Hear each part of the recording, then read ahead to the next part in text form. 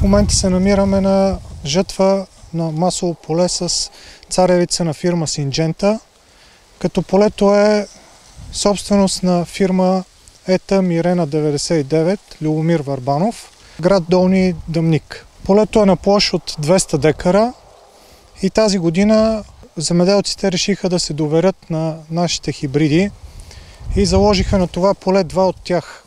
Един от по-ранната група, 240 по фал, хибридът се казва Риозо и вторият е 360 по фал, хибридът се казва Иридиум.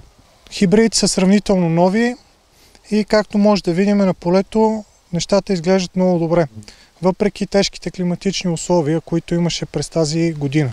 И очакванията за добивите също така са доста добри.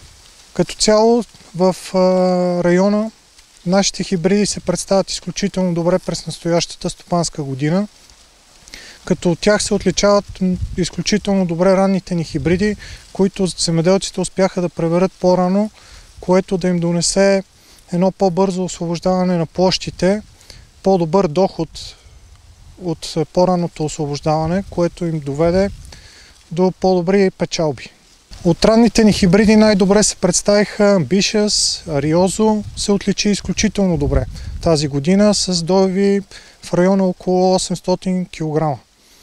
От средната група много добре се представяха хибридите Улисес, Иридиум, Октавиус. Също така производителите успяха да пробват и част от нашите най-нови хибриди, които фирмата успя да пусне през настоящата година, които те така да допълнят нашето портфолио от група 390 и 400 по фал. Това са хибридите Зефир и Креон. На места в района, даже и в Кнежа, имаме добиви от един тон.